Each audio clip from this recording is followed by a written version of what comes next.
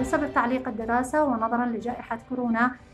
بقية طلاب العالم تلقوا التعليم عن بعد وهم في منازلهم وكان متوفر لديهم الإمكانيات الكبيرة الكمبيوتر الشخصي جميع الإمكانيات لكن بعكس طلابنا في أحسن الأحوال لا يمتلكون إلا تلفون سيار. بسبب هذه المعاناة بدأت أفكر في عمل group في الواتساب وبالفعل عملت group في الواتساب وبدأت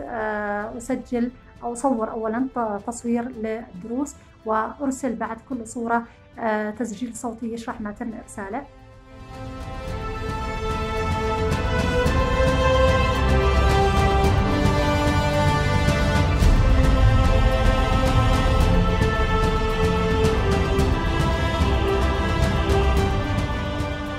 إرساله المبادرة هي مبادرة تطوعية شخصية. هدفي الأول والأخير فيها هو المساهمة